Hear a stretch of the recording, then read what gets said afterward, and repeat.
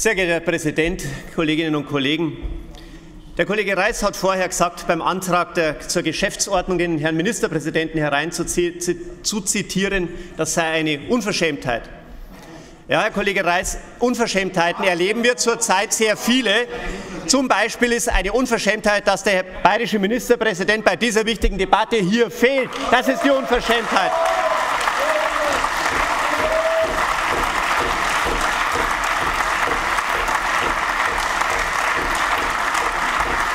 Und eine weitere Unverschämtheit, meine Damen und Herren,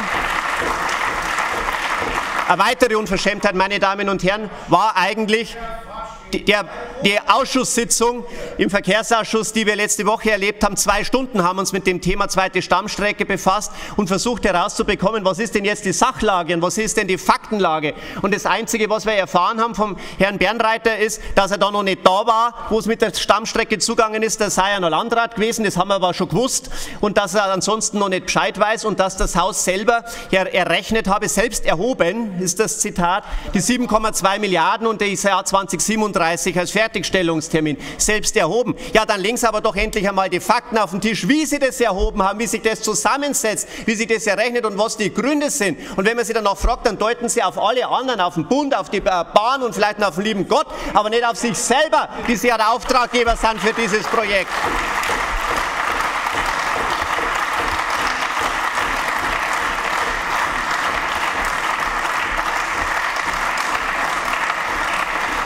Und schließlich ist es ja keine, kein Novum, keine neue Information anscheinend für Sie, für die Öffentlichkeit war es eine neue Information. Und wer sich ein bisschen auskennt mit dem Bereich, der hat sich ja denken können und hat es ja schon fünf und zehn Jahre vor dem Baubeginn euch gesagt, dass das nicht hinhaut mit euren Zeitrechnungen und mit euren Kostenkalkulationen, dass das 10 Milliarden und mehr kosten wird und das wird es ja auch. Die nächste Unverschämtheit ist, dass Sie das seit zwei Jahren wissen, Ihr Haus, dass es so teuer wird und das vertuschen, verheimlichen und den Steuerzahlerinnen und Steuerzahlern und vor allem auch den Fahrgästen, den Leidgeprüften verheimlichen. Das ist die nächste Unverschämtheit hier, die von Ihrem Haus und von der bayerischen Staatsregierung von Ministerpräsident Söder ausgeht.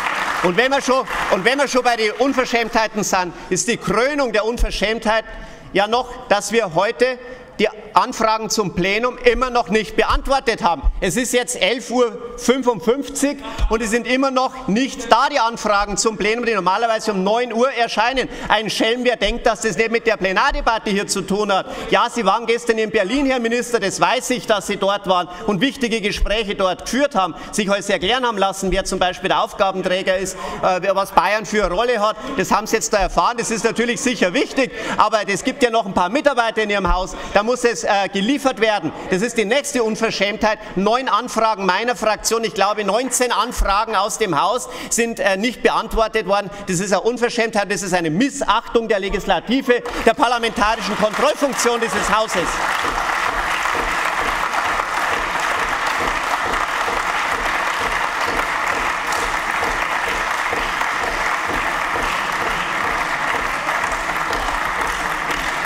Nein, meine Damen und Herren, wer da schuld ist an diesem ganzen Desaster, das kann man schon sagen. Das ist nicht die, äh, ja, die Bahn, das wird sie herausstellen, wenn sie mal Fakten offenlegt. Sie hat sicherlich einen Anteil, aber es ist sicherlich nicht der Bund. Es ist nicht der Bund und es wird auch nicht der liebe Gott sein und sonstige äh, Player, die vielleicht noch gefunden werden können, auch nicht die Stadt München. Schuld ist die CSU, die hat das als Prestigeprojekt, als ihr Prestigeprojekt durchgedrückt.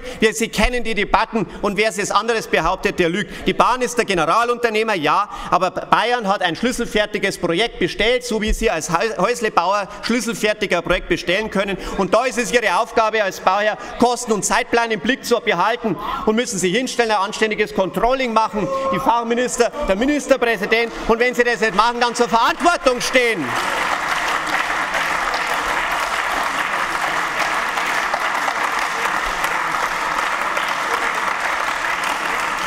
Und ein letztes, meine Damen und Herren, Sie wollen, und das ist ja richtig, doppelt so viele Fahrgäste im ÖPNV haben bis 2030. Ja, das wollen wir alle, das will auch der Bund, das steht überall in sämtlichen Absichtserklärungen. Ja, und wie wollen Sie das machen? Da kommt Ihre Stammstrecke doch zehn Jahre zu spät. Wir brauchen doch viel früher Erleichterungen und Verbesserungen. Und zwar die vielen kleinen Maßnahmen im ganzen Netz, die kleinen Ausbauschritte, Hunderte im S-Bahn-Netz München, aber auch in ganz Bayern. Momentan fährt kein einziger Zug mehr nach Bayreuth und kein einziger fahrt mehr ins Werdenfeld Pfälzer Land.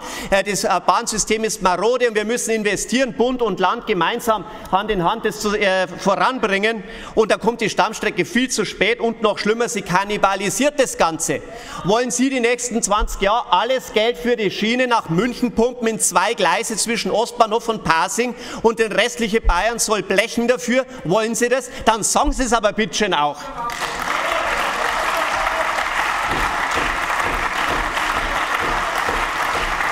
Und wenn Sie das nicht wollen, wenn Sie auch dem restlichen Bayern was zugutekommen lassen wollen, wenn Sie auch für die für die S-Bahn-Fahrgäste in der Region was äh, Gutes tun wollen, ja, dann erklären Sie doch, wie Sie das zahlen wollen. Wie zahlen Sie denn die Ausbaumaßnahmen im Bahnknoten München, die zur Stabilisierung und zur mehr Resilienz im Netz führen würde? Wie finanzieren Sie denn den überfälligen Ausbau der Außenäste, Nordring, Nordring Südring? Wie bezahlen Sie denn die Elektrifizierung, die wir da überall brauchen, Allgäu, Dieselloch, Oberfranken? Wie bezahlen Sie denn die Streckenaktivierungen im ländlichen Raum, auf die so viele Leute waren? Und wie bezahlen Sie denn die S-Bahn für Augsburg, die S-Bahn für Würzburg, die S-Bahn für Rengsburg und die zusätzlichen Züge, die wir brauchen, wenn wir doppelt so viele Leute befördern wollen. Legen Sie doch mal Konzept vor, legen Sie einmal Fakten vor und deuten es nicht bloß auf andere. Wir Grüne wollen Sie von Ihrem Tunnelblick befreien und endlich konkrete und schnelle Maßnahmen für alle Fahrgäste in ganz Bayern und insbesondere natürlich auch im leidgeprüften Bahnknoten München. Vielen Dank, meine Damen und Herren.